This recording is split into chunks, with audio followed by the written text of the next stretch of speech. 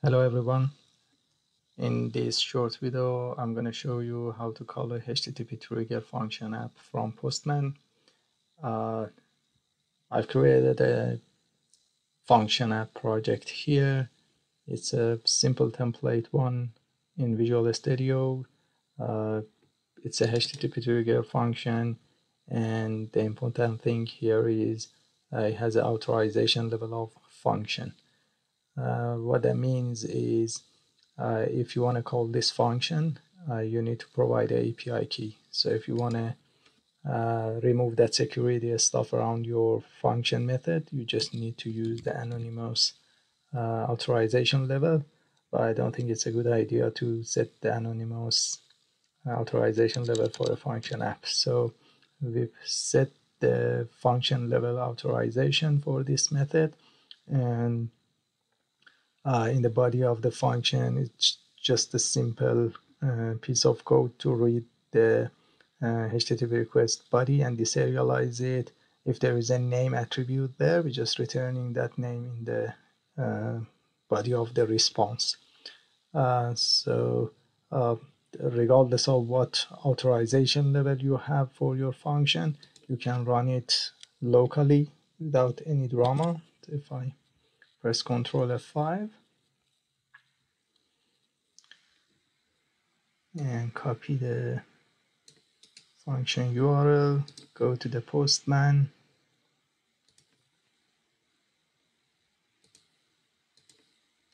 create a new request. And go to body, select raw, select JSON and create the JSON body. Just put something here. If I click send, you see that we've got that response from the function app. And we've got a log here that that function is called. So it works locally. You don't need to be worried about the uh,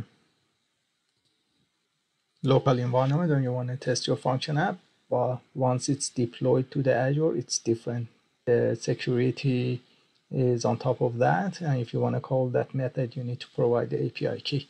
Just want to show you quickly how you can do that. Uh, I've deployed this uh, function app to Azure before.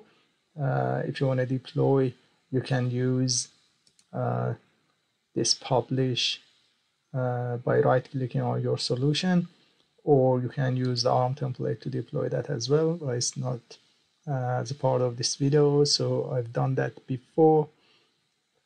Go to the portal. My demo function app is deployed here. Uh, what we need to have is uh, the function app URL so if you go to the functions you see the list of method for your function apps here. And uh, by clicking on the uh, function app method it goes to this screen.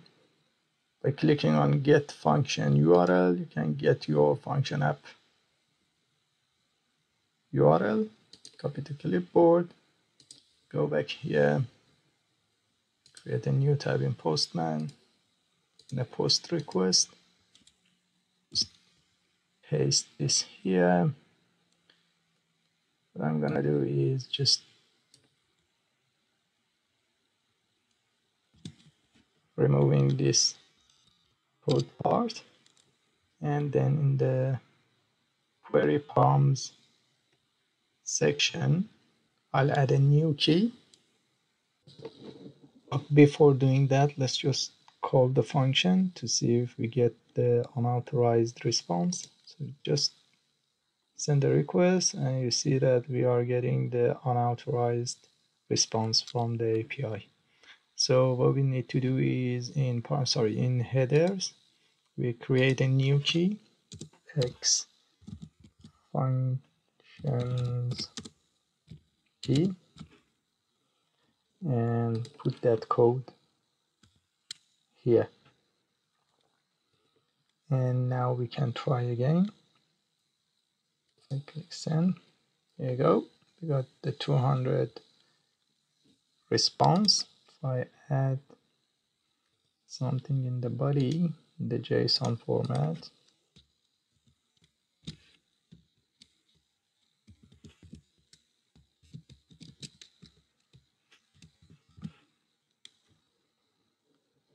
and send it again. We get the correct message from the API side. So if you've got a authorization level for your function and you want to call your function which is hosted on the Azure App Service Plan you just need to get the function key from the Azure portal. Uh, if we go back here and click on app keys. You've got a master key here. Uh, master key has a, admin access so uh, probably you need to be careful with using that but uh, you can use the default key. Default key has access to all your function methods. So you've got 10, 5, whatever methods in your function app and you want to access them with the same key, that's the key that you, you are after. You can use this key. Uh, if you want to use a specific key for each function, uh, you can go to the functions and then by clicking the function in the get function URL, the code here has access only to this method. Uh, so it's up to you and based on your use case, you can pick up the right key and call your function app. Uh, thanks for watching this video. If you found it useful, please like and subscribe. Thanks for watching. Bye.